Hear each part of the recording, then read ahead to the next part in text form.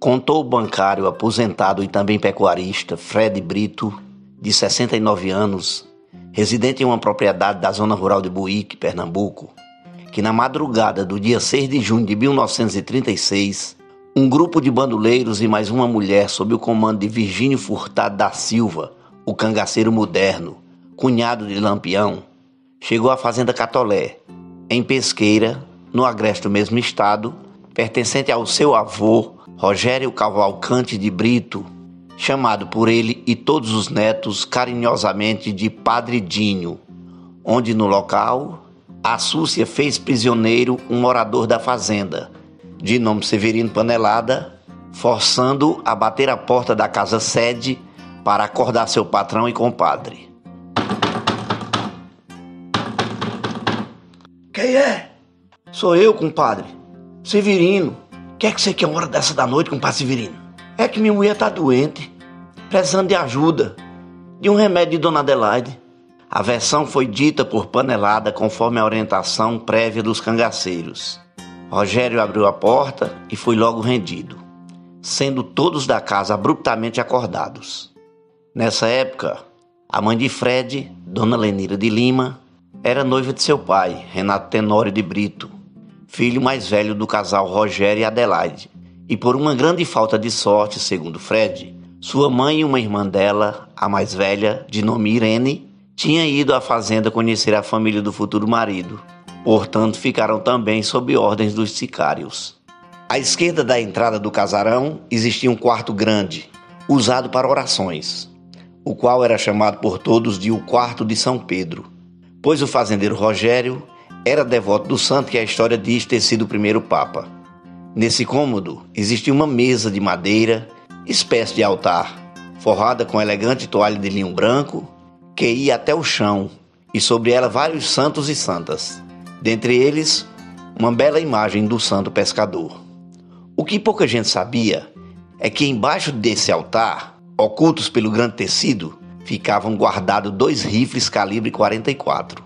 Por ser aquele espaço um local sagrado da casa, ficou livre da sanha dos sicários, que reviraram tudo dentro da residência à procura de objetos, joias, dinheiro e, claro, armas.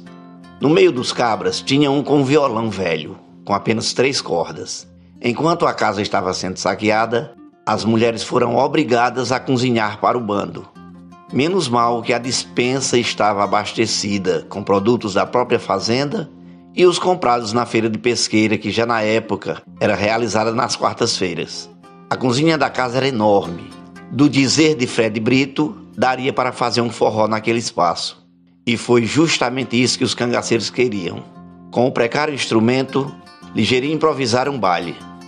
Um dos salteadores pegou na mão da menina moça Lenira, de apenas 17 anos, e cantou uma quadra que dizia: Não quero dengo, não quero choro, quero a menina do cabelo louro, referindo-se a Lenira, e a chamou para dançar.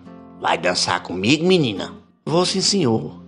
Sem receios, com coragem tirada não se sabe de onde, ela aceitou. Mas o cangaceiro não quis dançar. Era um teste. E ele disse: Eu peguei a sua mão e lhe chamei para dançar, pensando que você não ia. E se dissesse que não dançava, eu ia fazer você dançar era nua, aqui na vista da gente. Ia tirar a roupa e ia dançar nua. Depois do ocorrido, Lenira disse que se já estava pensando em morrer quando os cabras invadiram a casa, depois do susto que passou com a história da dança, achava que iria cair durinha ali mesmo. Logo que invadiram a casa, Virgínio, o moderno, disse: Eu só quero três contos de réis. Aí eu deixo a casa e sua família em paz. O grande problema é que o fazendeiro não dispunha naquele momento de avultada quantia em casa. Então os cangaceiros, ao deixar a fazenda, o levaram como refém.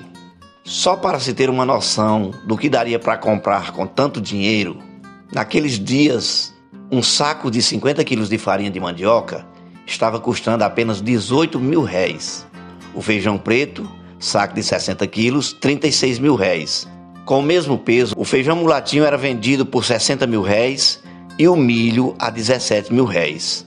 Um conto de réis se referia a mil vezes mil réis, ou seja, um milhão de réis. Renato Brito, como já foi dito, era o filho mais velho de Rogério e Adelaide e fez um pedido ao cangaceiro. Eu quero que o senhor me deixe selar um cavalo para meu pai montado, pois ele não vai aguentar o rojão de vocês na caminhada, não. O argumento do primogênito para o fazendeiro Rogério Brito ir montado, enquanto os cangaceiros iriam a pé, era que se iam matar seu pai, que matassem logo, ou então permitissem ele ir a cavalo. Tudo bem, vá buscar o cavalo. Com o consentimento de moderno, o rapaz trouxe um animal de nome revoltoso, para que o pai pudesse acompanhar a marcha do bando, perguntando em seguida: E como é que eu vou fazer para encontrar vocês depois para me pagar o resgate do meu pai? Virgínio respondeu: Nós vamos para o lado de boa sorte. Você é um homem de fazenda, vai saber pegar o rastro de 13 pessoas e apenas um cavalo. Depois da saída do grupo da Fazenda Catolé, levando seu proprietário como refém, Renato Brito foi até Pesqueira, distante 24 quilômetros da Fazenda Catolé, arranjar o dinheiro do resgate com amigos. Fato curioso é que os cabras do bando trocaram de roupa na fazenda, deixando para trás as vestes sujas de tantas andanças e combates, com algumas delas até manchadas de sangue.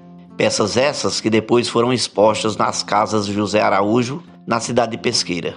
Na terra do doce e da renda, Renato conseguiu dinheiro com Severino do Leite.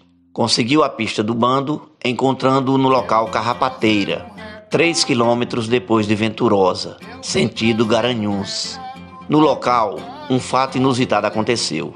Ao receber o pacote de dinheiro, Moderno conferiu o valor e devolveu Rogério à família, dizendo: Eu não ia matar seu pai, pois ele é um homem bom e homem bom a gente não mata.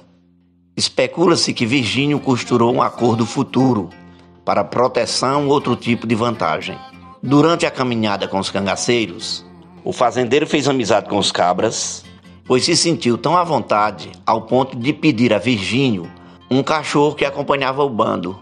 Eu não posso lhe dar o cachorro, não, pois esse cachorro já pegou muito cabra ruim para nós. Rogério e Renato Brito, pai e filho, voltaram para sua fazenda Catolé, em Pesqueira, depois das cinco da tarde daquele dia. Seis décadas depois da invasão à fazenda Catolé, um número bem maior de cangaceiros esteve na propriedade, com direito a cavalos, tiros e mortes. Mas tudo isso de mentirinha, pois na verdade o que aconteceu naquela propriedade foram gravações de cenas da refilmagem do filme O Cangaceiro de Lima Barreto, de 1953. Na nova versão, que estreou nos cinemas de todo o Brasil em 1997, o ator Paulo Gorgulho fazia o papel do capitão Galdino e Luísa Tomé viveu a Maria Bonita. O elenco ainda contava com o experiente Jofre Soares, Ingra Liberato, Jess Valadão, Otton Bastos, o sanfoneiro Dominguinhos, dentre outros. A bela casa da Fazenda Catolé nem de perto parece hoje com as do tempo de Rogério Brito, muito menos da época que o filme O Cangaceiro teve algumas cenas gravadas lá, o que não faz tanto tempo. Hoje o casarão se encontra em ruínas. Texto do pesquisador e escritor Júnior Almeida, Capoeiras, Pernambuco.